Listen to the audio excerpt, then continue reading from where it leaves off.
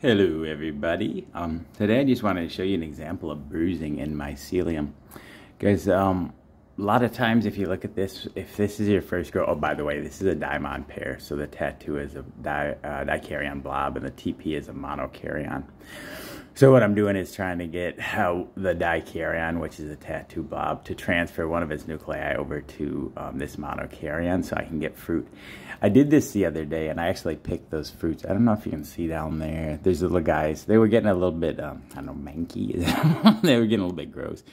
Um, so I picked them all off, and this this is about uh, this is about a month old. So yes, I'm about about five weeks, almost five weeks old. Um, I was trying to get spores. So what I want to do here is basically get a fruit body and then get spores, so I can move on to the the F2s and the F3s. But you, what you'll notice here, the main point of this is, you guys, the bruising here that occurs. So, uh, and I've been running in my new tents, and it's, uh, I, I, really, really need to dial in the, the humidity conditions and the air circulation as well as the air exchange. So different kind of topics I don't want to get into today. But this is clearly dried out, you guys. I can see here, when um, my mycelium gets damaged or gets bruised, it, it uh, bruised, it uh, blues, bruise, blues. so, so you can see here, um, this is clearly the result of essentially like mycelium that's not really like doing so great. Um, now, when you get these kind of blob things, a lot of people would probably think this, oh my gosh, this is like contamination. Look, this is, this is not gray, guys. This is more of a blue. So you got to make these subtle kind of uh, adjustments to what you think of as blue and gray and green. Like if you see green, there's trichoderma green, and that is like you'll you'll never forget that color. Um, but then there's this kind of grayish blue um, this is not a contamination or anything. This is an environmental problem. And you can see here it's getting a little fuzzy again. Like I saw this the other day, and so what I is I increased. You see how it see how I touch that? See how it's kind of fuzzy and then I touch it and then it just kind of like smashes down real easily and I can feel it's like soft and wet.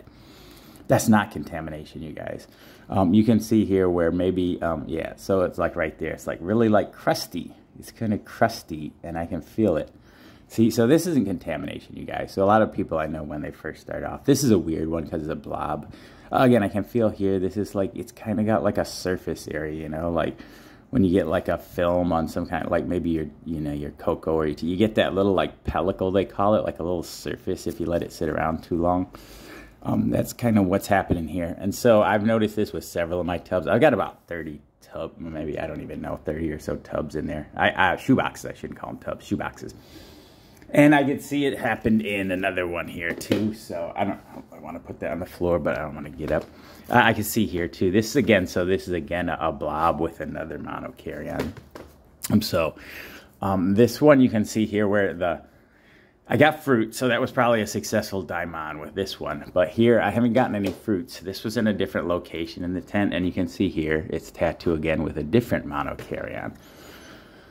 So, same idea, the Buller phenomenon, but this guy hasn't produced fruits. And so what I'm going to do, again, you can see that, that clear bruising. Um, I don't know why, uh, I don't know, we had a little discussion yesterday and somebody said that like mycelium, like cube mycelium doesn't bruise blue and I'm not really sure where, like what planet they're living on, but um, this is obviously bruising. Um, so what happens again, it's either because of the surface conditions, you get too dry. Usually what happens is you'll, I know because I watched this for the last like several weeks. It was real, real nice and fluffy, and then basically the, the mycelium got zapped. It dried out, and when it dries out, it starts to oxidize, and that blue color is the product of basically um, the alkaloids, particularly psilocin, uh, basically forming these uh, you know, polymers, uh, and they make crown.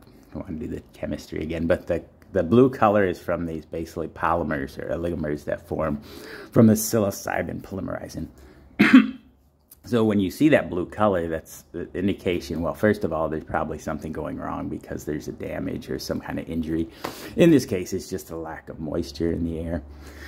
Uh, the other thing is that that's an indication that there is alkaloids there, okay? So again, there is alkaloids in, in mycelium, you guys. I don't know where this, it's, it's dangerous misinformation, I think, as people like to call it there is clearly alkaloids in here, you guys. I don't care what customs or what the you know interstate commerce people say. Maybe it's un, maybe it's very very low and maybe it's low enough to where it can't be detected but this is this is chemistry you guys. That's the blue color. The blue color is the polymer of the psilocin. We know that for a fact. That is well established at this point. So nobody needs to guess anymore. Nobody need the chemistry is there right? You guys blue color equals psilocin polymers or oligomers oligomer oligo just means a short polymer. Usually two three four um, like kind of units the mers so we call them oligomers. It's a polymer. It means things are linked together, just like plastic, right? Like this is like polyethylene, right? Ethylene linked together. Anyway, uh, I think that's enough for today, guys. So what I'm going to do is try to try to help this guy out. What I'm going to do is probably soak this with water. I'm not soak. I'm going to put probably like a half inch of water in there, and then I'll go in there literally with a fork and kind of rough it up just so you can see there, like you can see, right? There's like a crust on there, right? You can see this. Like you see that? There's like a crust. I can peel it off. This isn't what you would call overlay. This is just basically mycelium that got too dry. It's not that hard to figure out, you guys. It's just mycelium that got too dry, and I can feel it's dry. And that's simply because I, I've been messing with my fan and the air circulation, and I just cranked it up a little bit too hot one day, and it got dry. That's all. when mycelium bruises, gets injured, uh, just like the fresh fruit bodies, it stains blue.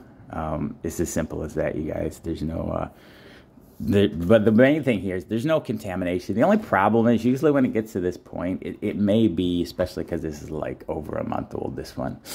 This may be past saving. Um, I don't know. We'll see. I, have got other shoe boxes ready, so I might just toss this in the garbage, to be honest. The more I feel it, the more I feel like this is kind of, it's quite light.